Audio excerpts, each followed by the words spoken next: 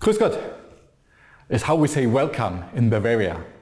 I'm Bernhard Seeber, I'm professor for audio information processing at the Technical University of Munich. And I'm going to introduce you to the area of psychoacoustics today. Psychoacoustics links our world of acoustics with how we perceive sounds. Psychoacoustics is a word of psychology and acoustics. What we try to do is to describe how we perceive sounds with functions, with models. We try to understand this and try to find a model way into our perception.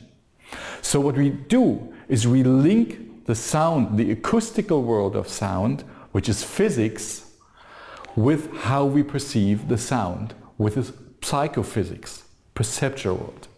You all know already in this course about the sound pressure and the sound pressure level. Now you can imagine that the sound pressure level is closely linked with the loudness of sounds, meaning how loud sounds are.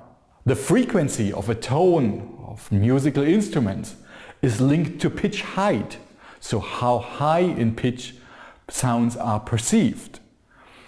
And the fluctuation of sounds, getting louder and softer on a short time scale, is linked to how we perceive fluctuations. We call this fluctuation strength or the perception of roughness. This is what we're going to talk about in this lecture. I'll introduce you first to the threshold of hearing and the range of the sounds we can hear.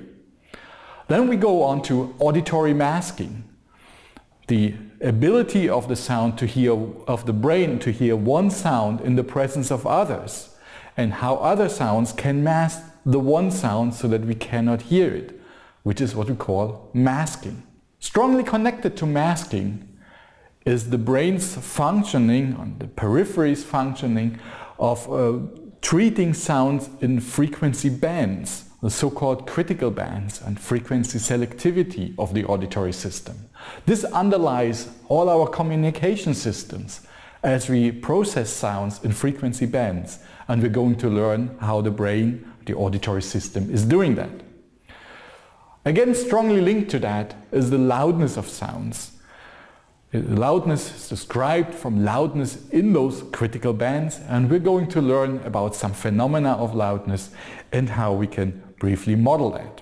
A brief introduction I will give you into pitch, pitch strength and timbre, so how the pitch of sound is being formed and a few interesting aspects about this before I come to aspects like sharpness, fluctuation, strength and roughness, which are aspects that are very important for sound quality of technical products.